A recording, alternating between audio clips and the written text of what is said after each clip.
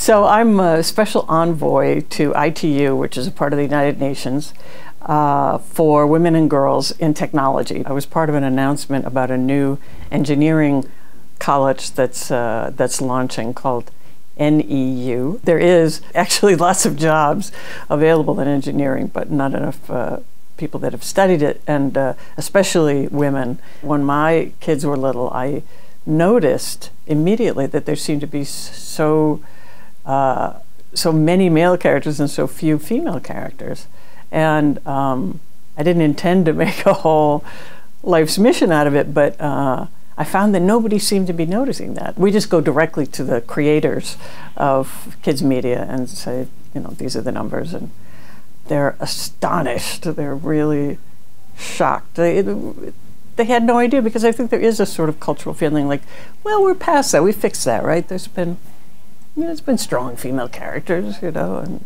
uh, but but the worlds of the movies and the and the shows are uh, are fairly bereft of female presence. I played the president on television a while back.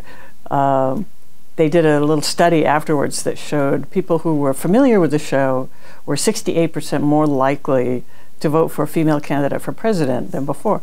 Just from one season of seeing me behind the desk, and suddenly it becomes normal. I mean, if we were showing uh, women engineers regularly, I think we would have uh, much less problem getting getting them interested in it. My institute is offering five scholarships uh, to female students that want to study at NEU, and uh, we're just very excited about that. I the whole uh, idea that there'll be a new way to study engineering and that it will be specifically uh, designed with the idea of attracting female students in mind uh, is extremely exciting to us.